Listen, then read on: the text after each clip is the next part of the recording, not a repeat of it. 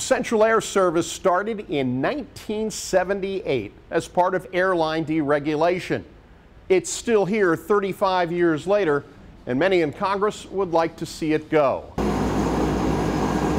In 1997, Essential Air Service was serving 95 cities at a cost to taxpayers of $26 million.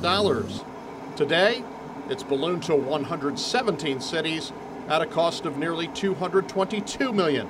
It's had lawmakers asking whether it's worth the money. This is about the easiest choice that the House could possibly make to put an end to the so-called essential air service that lavishly subsidizes some of the least essential air services in the country.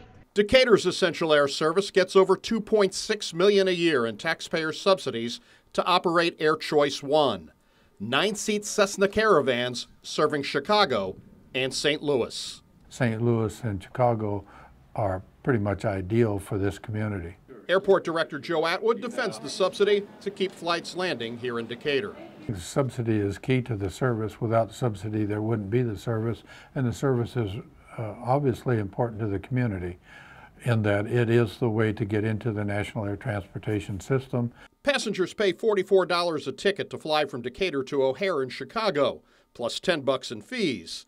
Taxpayers kick in another $90 in subsidies for every seat on the plane, even if they're empty. Still, the Illinois congressional delegation says essential air service is needed. They're true economic engines for this area and for their communities, and we need to make sure that passengers come first when it comes to air service.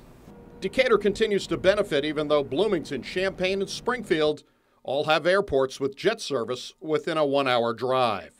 What would you say to other members of Congress or citizens that would say it's a waste of money? Well, I disagree. I think when you look at these local airports, you look at the essential air service that, that passengers provide, you know, it's an opportunity to grow our local economies. It's an opportunity to create jobs that politicians keep talking about.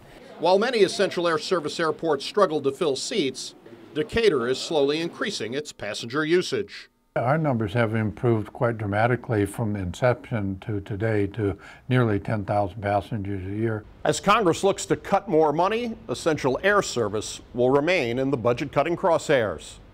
For the I Team, I'm Doug Wolfe, WAND News.